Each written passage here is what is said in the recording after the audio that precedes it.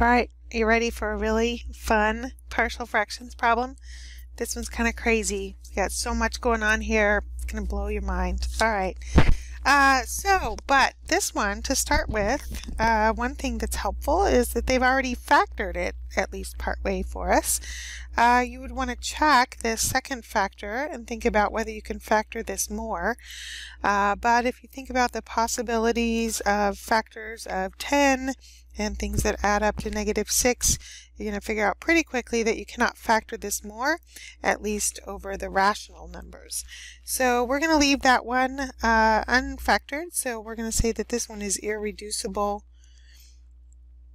over the rational numbers anyway. So I can't rewrite that as simpler linear factors here.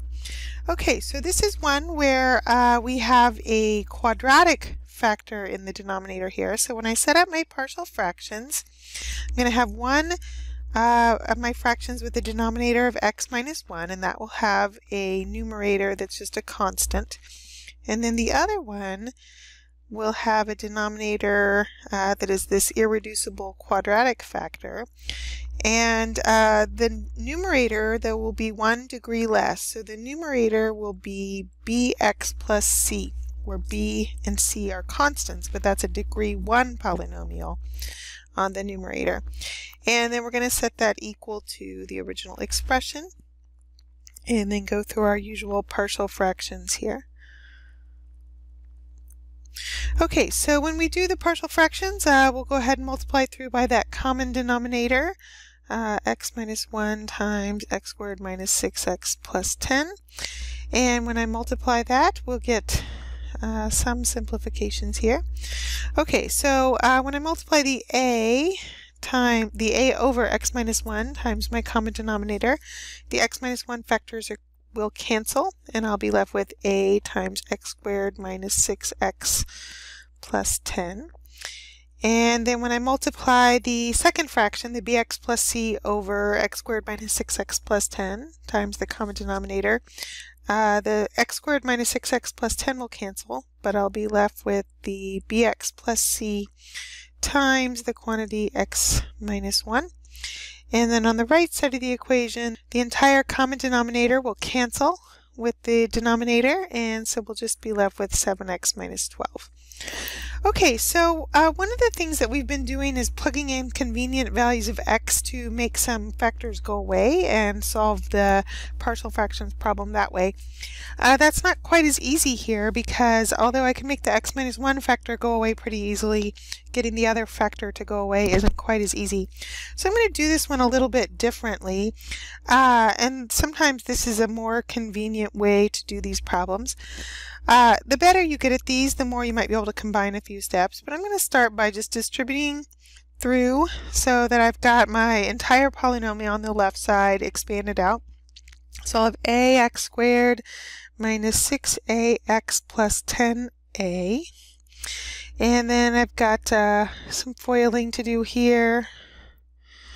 So let's see, I'll have plus bx squared minus bx plus cx minus c, and then all that will equal 7x minus 12. Okay, and then on the left side of the equation, I have a couple of x squared terms. Uh, I also have some x terms.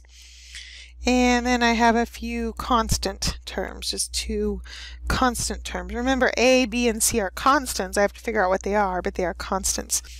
So uh, what we're going to do next is on the left side, I'm going to regroup those terms so that I've got the x squared term coefficients. If I knew what A and B were, I could add them together and I would get A plus B times x squared. And then the x term coefficients. So I'll have minus 6a, uh, and then a minus b and a plus c. So that's the coefficients of the x terms. And then the constant terms, 10a minus c. Okay, and if this equation is true, it is true for all values of x. And the only way that's going to be true is if my coefficients of my like terms on both sides of the equation uh, are the same. So for example, for the x term, I need that this minus 6a minus b plus c is equal to 7. And then for the constant terms, I need 10a minus c to be equal to negative 12. I don't have any x squared terms on the right side, but I do on the left. Uh, so that's going to mean that that x squared coefficient that I have over here on the left side should be equal to 0. So from there, uh, what I'm going to do is write a system of equations by equating coefficients from both sides of the equation. So uh, for my x squared terms, the coefficients on the left side, I have a plus b, and then on the right side of the equation, I don't have any x squared terms, so that coefficient is 0. And then for the x terms, on the left side, I'll have minus 6a minus b plus c. And then on the right side, the coefficient of the x term is 7. And then for the constant terms, on the left side of the equation, I have 10a minus c. And on the right side of the equation, I have minus 12. All right, so here I have a system of three equations and three unknowns. So I want to solve this system. You might know how to use your calculator to solve systems, or you can solve them by hand. This one's not too hard to solve by hand, so I'm just going to go ahead and do it that way. Uh, I might notice that if I add these last two equations together, the c terms will drop out. So if I add those last two equations together, I'll get 4a minus b, my c terms will drop out, and then I'll have negative 5 from the 7 plus negative 12. And then if I take that result and work with that result that I have here along with the original equation that I haven't really worked with yet, the a plus b equals 0, uh, we've got some nice elimination here adding those two equations together. So if I add those two equations together, I get um, 5a, the b terms drop out, equals negative 5. I can solve that for a, so I get a is negative 1, and then once I know my a, I can plug that into my other equations up at the beginning and figure out my b's and c's. So I have a plus b equals 0, so negative 1 plus b equals 0 tells us b is 1, and then 10a so 10 times negative 1 minus c equals negative 12. If I add 10 to both sides, I get negative c equals negative 2 or c equals 2. Okay, so there I've done my partial fractions work. I've got my a, b, c, and I can now rewrite my original um, integral in terms of these uh, simpler expression. So I have the integral of, had my a, which was negative 1 over x minus 1, and then my bx plus c, so that's 1x plus 2 over that denominator, x squared minus 6x plus 10. And then I need to integrate that whole thing with respect to x. Okay, so at this point in an integration problem, you want to look at the integrals you have and think about, do I know these or do I know how to integrate these? Um, so you probably separate that into two separate integrals, at least in your head. This first one is not too bad. You can do a u substitution, u equals x minus 1. Your du would be dx, and away you go with that. The second one is a little bit harder. Uh, you might think about u equals the denominator but then your du would be 2x minus 6, and I don't have the right uh, expression on the numerator to make that work. So this one, uh, this next one is a little bit of algebra. This is kind of a tricky algebra thing. Again, something that's probably been a long time since you've done this kind of algebra. But I'm going to separate the integral into two separate integrals so I can work on the one that I know how to do, negative 1 over x minus 1 dx. I'll use a u substitution on that plus, and then this other one that I'm going to do a little bit of uh, nice algebra, fun algebra to do here. Okay, so this is an algebra thing that you may not have used for a while, and you probably didn't use it like this when you did it before. Uh, but what I'm going to do here on the denominator of this last one is I'm going to complete this square. Why I'm going to do that is because it works. Um, so how do I know that works? Well, I've just done a lot of integration problems, honestly. So, okay, so to complete this square, I'm going to kind of pull apart that denominator into x squared minus 6x, and then I'm going to just leave a little bit of a space here and put the plus 10. And when you complete the square, you're going to look at the coefficient of the x term, the linear term, take half of that.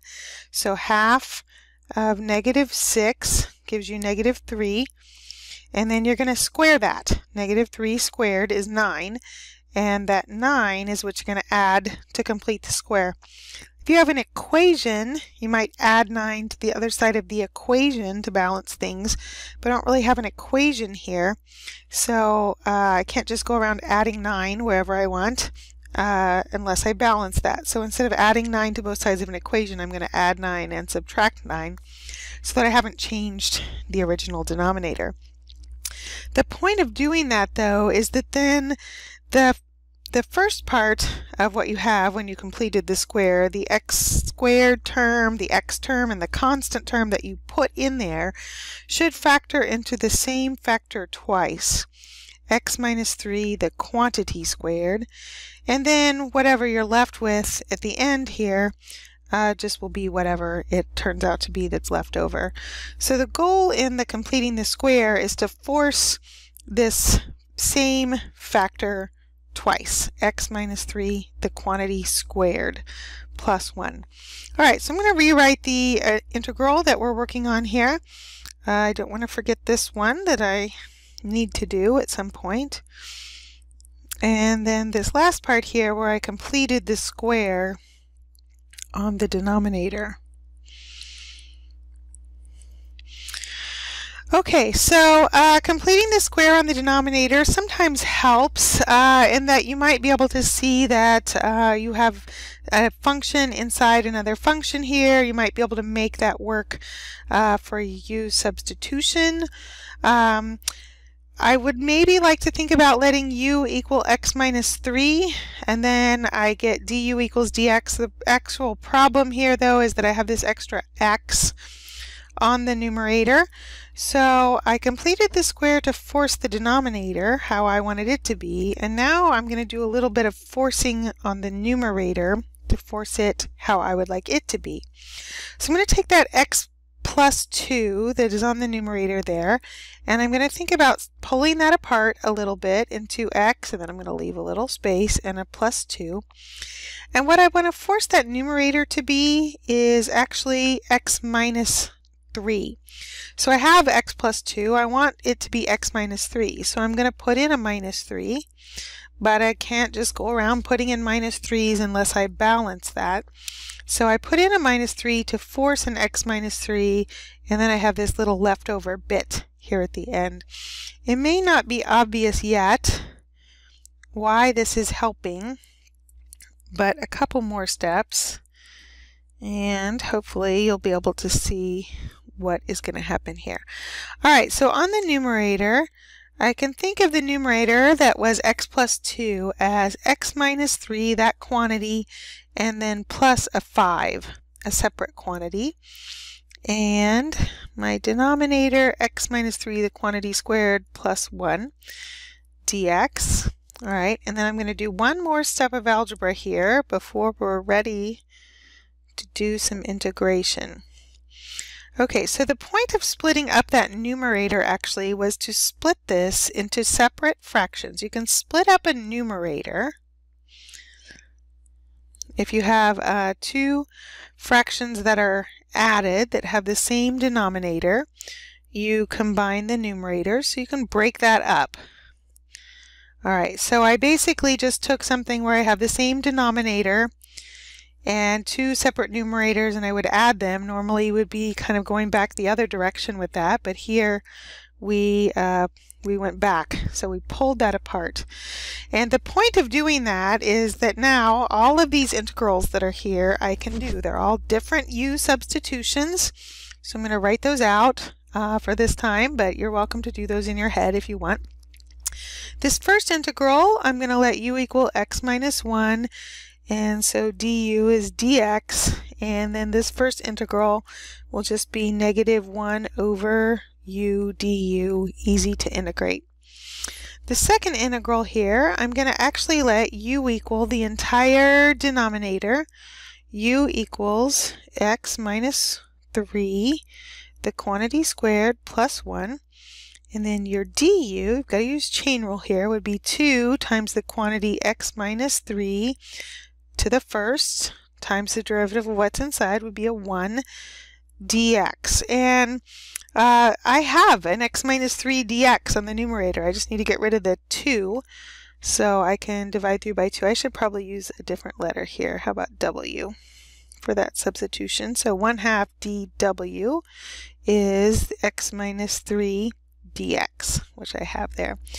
And then for this last one, I'm going to do a different substitution. So I'll use a different letter here, maybe v. This is not integration by parts, but I'm going to use a v. I'm just going to let v equal x minus 3. And so then my dv is dx. And so that integral, uh, the 5 can come out front here. That integral will end up being 1 over v squared plus 1 dv, which is one you know. That's a tangent inverse form. Okay, I didn't write down the middle integral. I probably should have done that as I was doing this. But uh, okay, in place of the x minus 3 dx, I'm going to put 1 half dw. And then in place of the entire denominator, I'll have w. All right, so now those are all integrals I know how to do. So now those are all integrals I know how to do, so now I just need to do them. So negative ln of absolute value of u plus 1 half natural log of absolute value of w plus 5 tangent inverse of v plus c. And now I need a back substitute for my u, v, and w. Negative natural log of x minus 1 plus 1 half natural log of that whole w thing, x minus 3, the quantity squared plus 1 plus 5 times tangent inverse of w, or w was x minus 3, and a big old plus c at the end. Uh, if you want, and our textbook probably would do this, uh, you could multiply this all back out and rewrite that as x squared minus 6x plus 10 inside that ln, but that's probably the only thing I would do to simplify it, and I don't even know if I would do that. I might just leave it uh, with everything that I have here at the end. All right, so that's pretty fun integration problem. We use a ton of algebra, some creative algebra there. The main thing is just make sure you're not violating rules of algebra. If you add something, you need to subtract something to balance that. You can multiply numerator and denominator of a fraction by the same thing to keep that one.